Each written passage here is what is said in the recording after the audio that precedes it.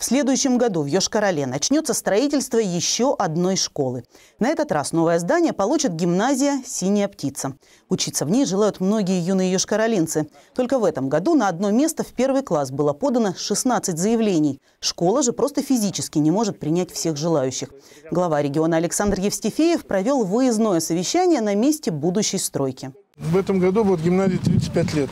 На протяжении 20 лет э, правительство Республики Мариэл э, поддерживает и считает целесообразным строительство нового корпуса, потому что вот эта гимназия в 90-е годы строилась она в нетиповом э, проекте была. Нет спортивного зала, нет актового зала, столовых в приспособленных помещениях, нет мастерских. То есть мы вынуждены ходить по школам, проводить уроки там. Тут ну, у нас договора заключены. Мы хорошо знаем, что у вас в высшей степени профессиональный коллектив, что э, услуги вашего коллектива образовательные очень востребованы.